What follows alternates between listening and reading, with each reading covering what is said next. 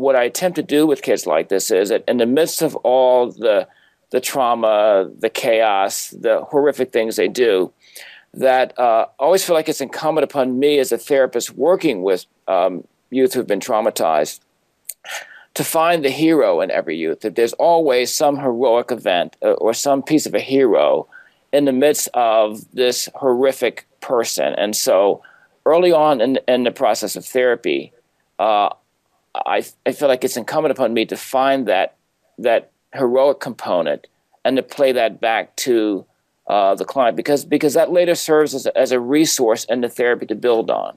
So, so tell us about. Give us an example of how you do that in a in a situation with a a kid where most of us would not think there's a hero buried inside there. Just we just think this is a scary kid. This is a a tough kid. This is a tough nut to crack. So get, just give us a flavor of how you work and how you how you uh, begin the process of discovering that.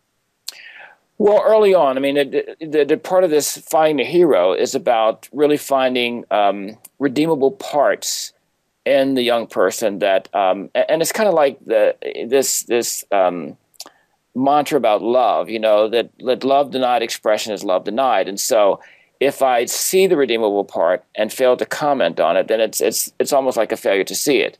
So this kid who stormed out, I mean, one of the things I said to him was that that um, that uh, that I admire tremendously about his ability to sort of keep things real in his life. And so, when a point in which I had pushed him beyond the point in which he wished to be pushed, that he kept it he kept it really real with me uh-huh. uh, and that that that I that I appreciate that about him, and that was that was a redeemable part of him, and so that.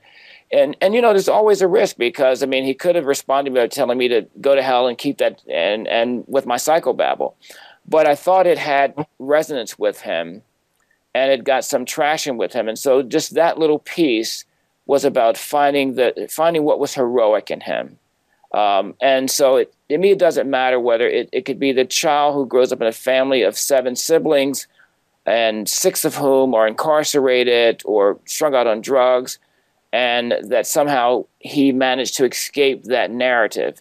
Then, uh, then identify that as as the hero in him. That that's the heroic part of him. That that gives me something to work on uh, and something to build on.